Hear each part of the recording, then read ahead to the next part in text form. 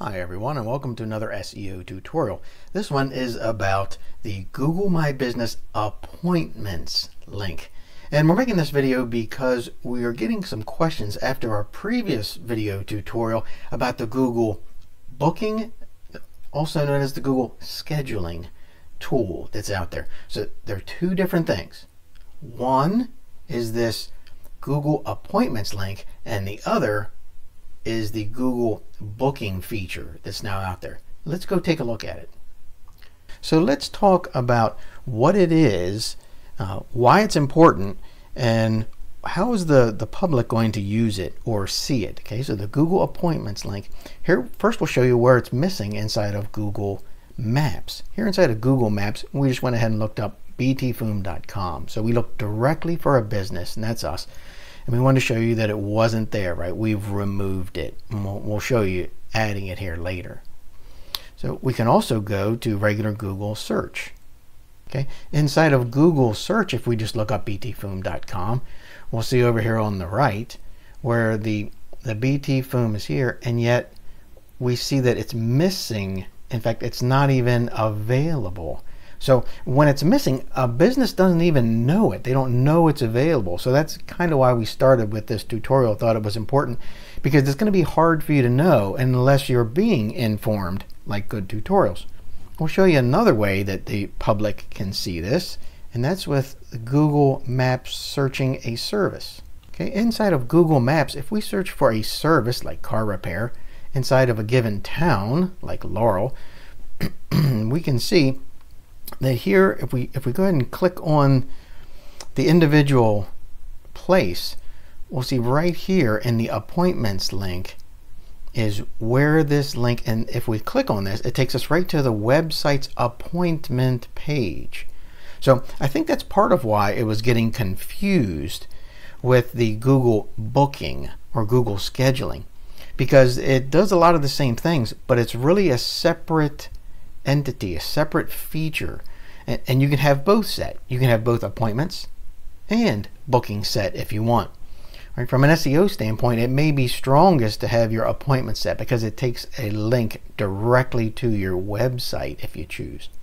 And let's see how the public sees it in one more way. Here's how the public may see it if they go to Google Maps and they search specifically for a given business. Here in the left, we see this is where it's strange that it says when we put our mouse over it, it says open booking link, which is a, even a little bit more confusing because honestly, it's the appointments link and not so much the bookings link. So can be a little confusing for folks. But now that we understand how the public sees it, we'll go see how to set it for a business inside of Google My Business. Okay, inside of Google My Business, and I'll put the link to how to get to Google My Business if you're new to it. You need to have it claimed and you need to be logged in with the email address that claimed the Google My Business. Once you have that, you're usually going to land here on the home page inside of Google My Business. And it's if you look over here in this left vertical menu, it's going to be a little confusing because you don't see an appointments link here.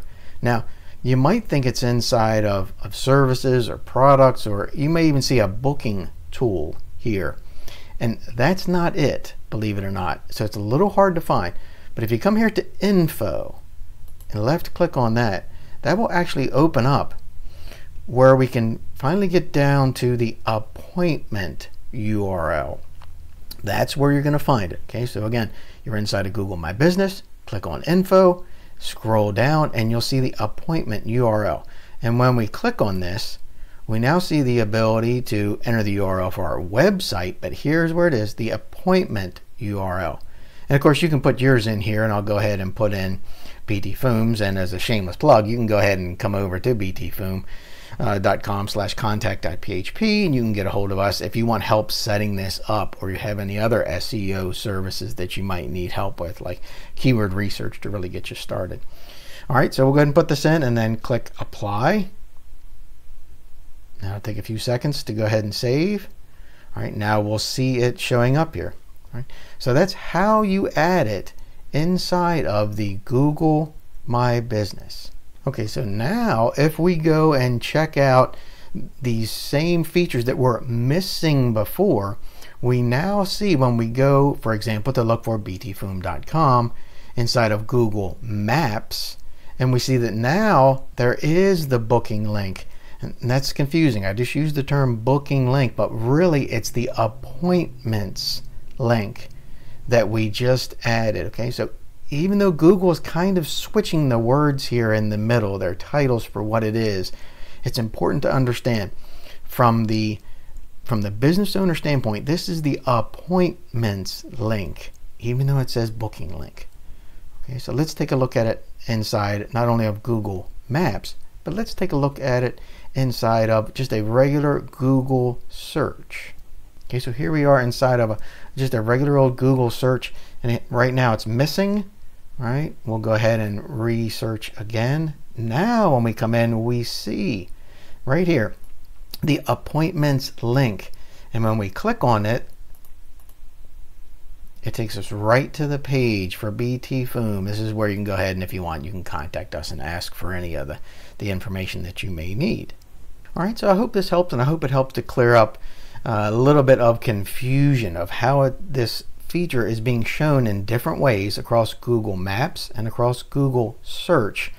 But it's really important for a business and it's important for their SEO because you're building another external link that's going to your website.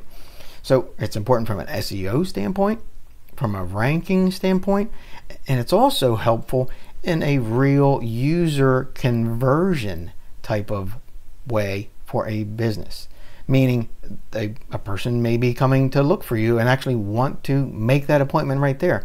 You're making it a one click. So the only thing they have to do is boom, they'll click on this, come right to your site, and be able to uh, grab and, and convert exactly what they need done. All right, I hope this helps. And if you need any further help with SEO, SEM, or your help your ranking, building an overall web presence, or any of the services, you can come on over to btfoom.com. All right, I hope this is helpful in understanding the difference between the Google My Business appointments and the Google My Business bookings or scheduling and how it's set. If you're looking for that Google booking and that Google scheduling video, I'll go ahead and put a link to it below in the description. All right, so if you want to check that out and see the difference, that's the Google booking, the Google scheduling feature, which is relatively new for the middle of 2019.